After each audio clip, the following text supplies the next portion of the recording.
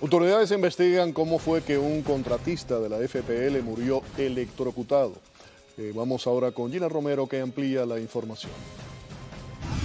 Gracias Félix y muy buenas tardes. Desafortunadamente el hombre que pertenecía a una compañía contratada por la FPL murió electrocutado mientras realizaba un trabajo en una vivienda localizada en ese sector residencial del suroeste de Miami-Dade. Un contratista de la compañía eléctrica Florida Power and Light se electrocutó mientras realizaba un trabajo con líneas de energía en el suroeste de Miami-Dade. El hombre fue declarado muerto después que fuera trasladado a un hospital cercano. En el lugar del incidente quedó un camión completamente calcinado y en el que se podía leer el nombre de dos compañías, Altec y Concurrent. Varios detectives del Departamento de Homicidios de Miami-Dade, al igual que oficiales del Departamento de Bomberos, arribaron al lugar del incidente para recaudar evidencia.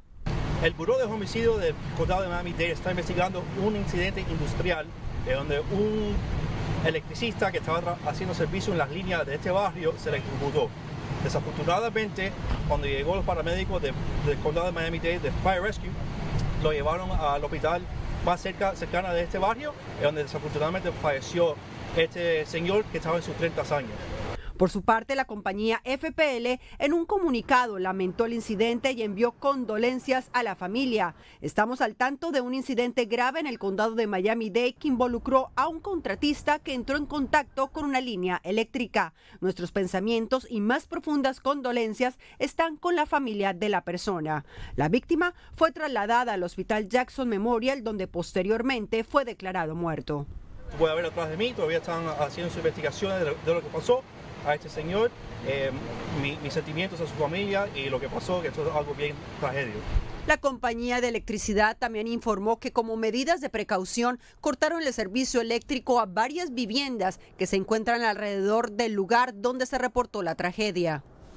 Y en estos momentos, diferentes detectives del Departamento de la Policía de Miami-Dade, como también del Departamento de Bomberos, están a cargo de la investigación de este hombre que falleció mientras realizaba un trabajo eléctrico en una vivienda.